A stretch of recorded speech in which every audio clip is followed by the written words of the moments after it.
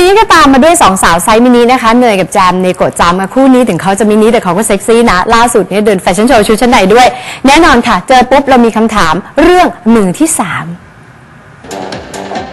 ถึงจะเป็นสาวไทยไซส์มินิแต่ฝาแฝดเนยแจมวงเนโกจัมพ์ก็พกความมั่นใจเกินร้อย มาเดินแบบชุดชั้นในครึ่งท่อนในสไตล์น่ารักสมวัยให้หนุ่มน้อยหนุ่มใหญ่ได้ฮือฮากันค่ะ ซึ่งงานนี้คนที่ถูกจับจ้องเป็นพิเศษเห็นจะเป็นแฝดผู้น้องเนยวรัฐาที่เปิดตัวว่ากำลังกิ๊กกักอยู่กับดีเจมาดกวดภูมิภูมิใจตั้งสง่า ซึ่งงานนี้สาวเนยก็โดนข้อหามือที่สามไปตามระเบียบค่ะ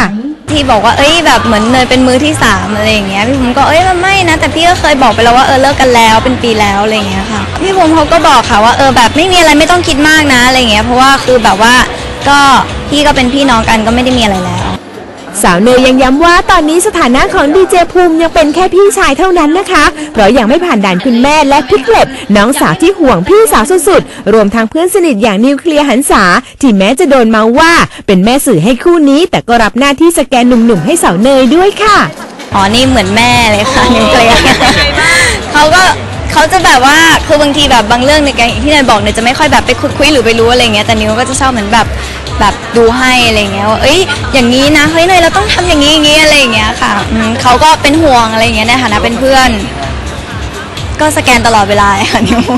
และถ้าช่วงนี้จะเห็นดีเจภูมิขับรถไปส่งสาวเนยที่ RS บ่อยๆ ก็ไม่ต้องแปลกใจนะคะ เพราะฝ่ายชายกำลังเร่งทำคะแนนด้วยการทำหน้าที่เป็นสารถีส่วนตัวให้อยู่นั่นเองค่ะ